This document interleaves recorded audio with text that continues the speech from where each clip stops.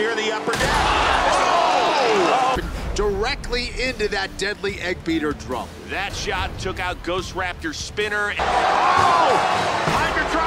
Oh! He just took a massive ricochet shot. Oh, right itself, got in the air, and then Glitch said, no, you don't. Oh! They may not need to, though. Oh! Nice shot from behind.